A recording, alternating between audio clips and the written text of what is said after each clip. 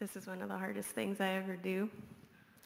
I'm really glad Justina is standing behind me because she's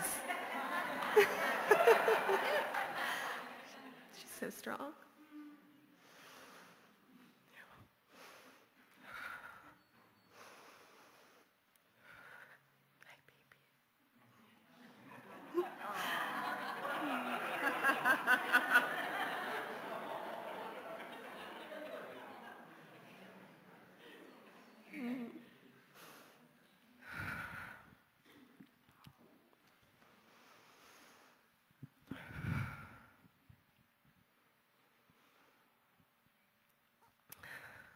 My body says this is a survival situation.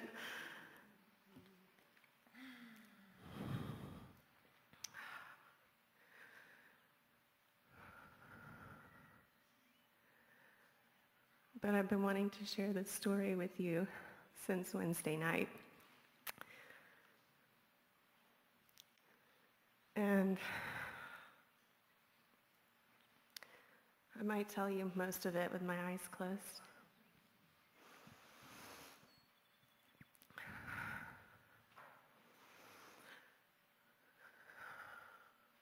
Sometimes I forget to ask for help.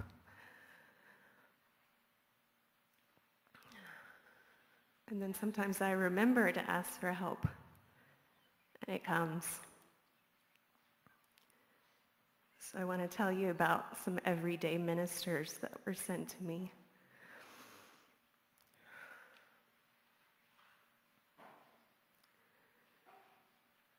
Um, struggled with depression since I was about nine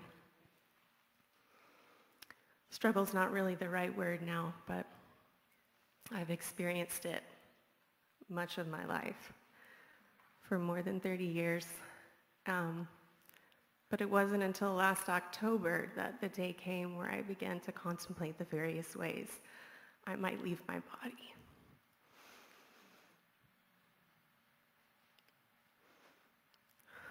Because I had come to the realization or the supposed realization that me being who I am in this world as it is is just too painful. And so very calmly, I just decided, yeah, I just need to go. And I thought, well, I need, to, I need about two or three weeks to get some things in order for my beautiful husband. So I can't quite do it yet. And Sweden's very progressive. They have assisted suicide programs. Maybe I could go over there and they could help me do it in such a way that all my organs could be used to save other lives.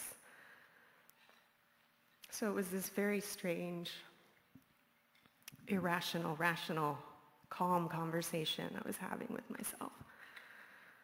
And miraculously, life and I have conspired to make me a person that can perform even when I want to leave. And so I dragged myself into my vehicle, my husband's vehicle actually, and I drove to see a man um, in home health. I'm an occupational therapist. I see people in home health. And I was seeing people in the hills of Tennessee that had very few resources and were very sick. And my coworkers had said, this man, his phone is not working, so you'll just have to show up. And you'll knock on the door and he probably won't answer, so you just go in. and his house is a trailer at the end of the blacktop down this country road. Just go to the end and park. And so I'm making this whole journey and I'm I'm like, I need help. Can I have some help, please? And how in the world am I driving this truck right now? But I drove to the end of the blacktop and I found the trailer and I was like, okay, I guess this is it. And I walk to the door and I knock on the door. I'm like, oh, no answer. And I knock louder and there's still no answer. Knock a third time, even louder. No answer. So like, oh, this is the Wild West. I'm just going to go into this person who's I've never seen before. And all I knew about him is that he was 34 years old and he had recently had his leg amputated because he had unmanaged diabetes and he had three preteen or teenage daughters that he was taking care of. His partner had left him. So I open the door and I start calling his name and I see him in a recliner. Apparently has no shirt on and he's sleeping soundly. I'm like, great. So I keep calling his name. He doesn't answer. I get louder. I'm still feeling very tentative about entering this space. I'm like, this is it. I'm just going to go over, and I'm still calling his name. He's not rousing. I know he's alive. Um, and he's still not answering to me yelling his name. So I'm like, okay, I'm going to find the leg he still has, and I'm going to touch it. And I don't know how he's going to wake up or what his response is going to be. And he's been through so much. And so I grab his leg and call his name, and ah! I'm like, I'm so sorry. I was told I should just come in. I hope this is okay. And he was the nicest, kindest, most beautiful man, and he just beamed at me. He's like, oh yeah, yeah, totally, come on in. It's about 11 a.m. He was like, I'm sorry, I had a bad night. I didn't sleep very much.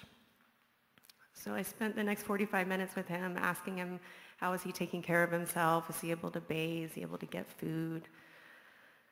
And he's just making jokes about his leg. I was like, oh, I don't, I don't want to get too close to you. He's like, all right, I don't have a leg there. You can come up even closer. he's making jokes about going to the IHOP with his daughter. and I'm getting chills as I'm talking to him, and I'm like, wow, look at you. And it, it didn't feel like an indictment either. You know, I didn't reflect on I'm in so much pain with both legs and my health. I just saw his joy and his acceptance. And I said, you're amazing. It's like, you've been through so much. How are you like this? He's like, I don't know. My mom says I just go along no matter what happens. I'm like, okay, well, thank you and I get in the truck and I drive to the local co-op to get some lunch and I'm in my scrubs and I go to the hot bar and there's an old man there going through the hot bar and I decide I don't want what's first, I wanted something down the line. So I go down the line and I realize I'm going the wrong way in the line, you know. And so I say to the old man, I hope I'm not cramping your style.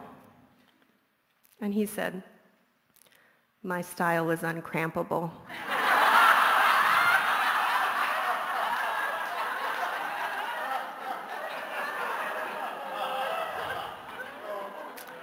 And I'm getting the chills I got then. And I said, that's the best thing I've ever heard. and then we look at each other and he's like, oh, do you work in healthcare? And I'm like, yeah, I work in home health. I'm an occupational therapist. And he said, I love my occupational therapist. and he pulls up his pant leg and shows me his catheter bag by the food bar. and I'm here for it. I'm here for it. And he starts telling me, he's like, oh, this catheter has been so traumatic for me. It's been so painful. He starts telling me the details. I'm like, yeah, yeah. And I, I'm grimacing as he's telling me how painful it's been to have it taken in and out periodically. And he gets a foot away from my face and puts both his hands and fists and puts them next to my temples. And he says, I can see the empathy.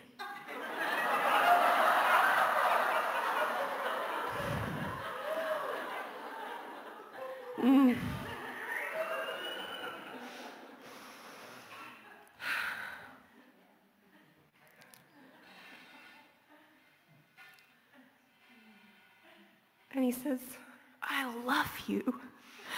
I can't make this stuff up. and he says, you know, some people go to the yoga studio and they're on the mat and everything is coming down and it's all He's like, but for the rest of us, we just have to keep dancing.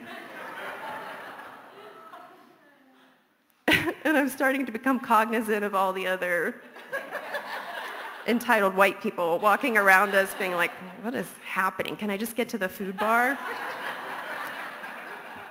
but I'm just having such a good time talking to this, what we would call demented man in the middle of the grocery store. We talk for a little while longer and I have a longing just to be in his life and to connect with him more, but something doesn't ask for his name. I don't ask for his contact information. And I was just thankful for the moment with him. And I was like, well, I'm on the clock. I've, I've got to go. And he's like, oh, I love you. he says it again, like affirming my sense of responsibility.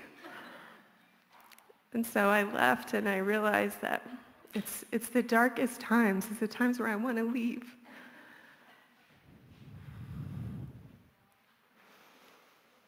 I just ask for help. And just wait one more day. And the everyday ministers are there. And you're an everyday minister. So there's Refugia in the middle of a grocery store talking about catheters, if that's what'll do it for you. Thank you.